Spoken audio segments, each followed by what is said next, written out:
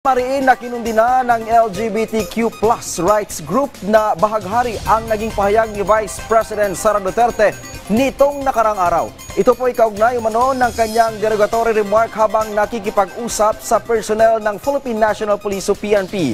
Anila, hindi nakakababa ang pagiging bakla at huwag ito gamitin bilang panginsulto.